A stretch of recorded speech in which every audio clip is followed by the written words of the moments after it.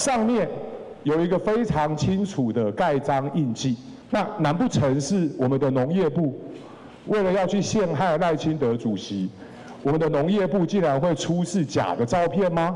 亮出航照图，后面压的林业及自然保育署航测及遥测分署印章，证明这些照片通通洗金呢，就是因为先前公布赖清德老家空照图被质疑有造假。民众党部分区立委提名人黄国昌开记者会，先替自己辩白。我希望赖主席他掉眼泪的时候，是为了人民的苦而掉眼泪，而不是为了遮掩自己的谎言而哭泣。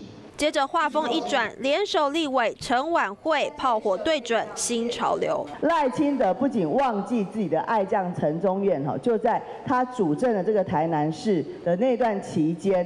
接受业者的这个新招待，帮忙瞧市井。点名包括立法院副院长蔡其昌、立委梁文杰、行政院副院长郑文灿和前行政院发言人陈宗彦等等十二人，认为他们有新潮流背景，就算犯了法也别惊。无奈人一方面说他没钱，赖着不还；另外一方面是夜夜笙歌，出入高档的会所。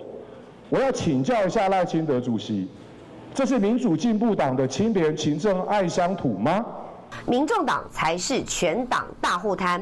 黄国昌不止装睡觉不醒，根本是装瞎看不见，装哑不敢吭声。针对民众党指控，民进党发言人林楚英跳出来反击，批评柯文哲面对高鸿安诈领助理费风波，只是轻轻放下。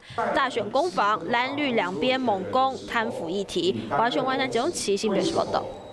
嗨，大家好，我是尹彤。想要来抢先掌握最及时的新闻资讯吗？赶快订阅、按赞、开启小铃铛，锁定华视新闻的 YouTube 频道。